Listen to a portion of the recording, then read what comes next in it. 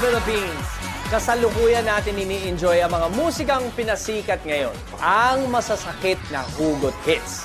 Ang next nating hopeful, kabilang marami siyang nakuhang medals at awards nang naiuwi nito. Pero ngayong gabi, huhugot daw siya ng lakas ng loob mula sa kanyang kapatid at supportive mom. Narito na si Sheila. Hi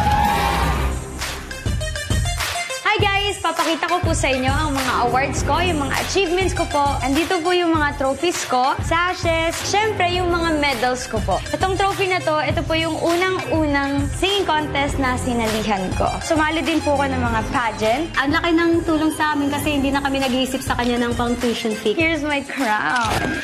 Proud na proud po ako kay Shilan sa na-achieve niya. Ito na yung matagal niyang inaantay.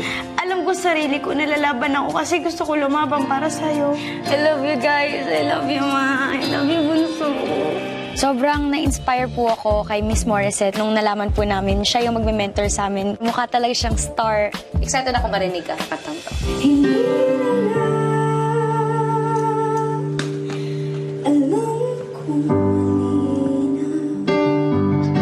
O ano naramdaman mo? I'm really pressured. Last week, I was in the bottom three. Gusto ko po sanang bumawi. Sabi ko sa kanya, dapat kalimutan niya niya yun. And it should motivate her to give a better performance this week. At sobrang na-motivate po ako. Mas naging malalim pa yung passion ko sa pagkanta.